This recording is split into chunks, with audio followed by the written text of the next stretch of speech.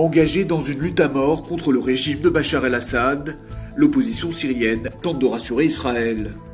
Dans une interview au quotidien Haaretz, un haut responsable des rebelles syriens adresse plusieurs messages positifs à l'État hébreu. Le premier concerne l'arsenal de missiles chimiques aux mains de la dictature alaouite. Il sera sécurisé dès que le régime tombera sur ce chef de l'opposition, parlant sous couvert de l'anonymat. Ces derniers mois, l'état-major israélien a maintes fois exprimé la crainte que ces armes sophistiquées ne soient transférées au Hezbollah libanais. Nous nous préparons au chaos qui succédera à la chute du clan Assad, prévient cependant l'opposant syrien.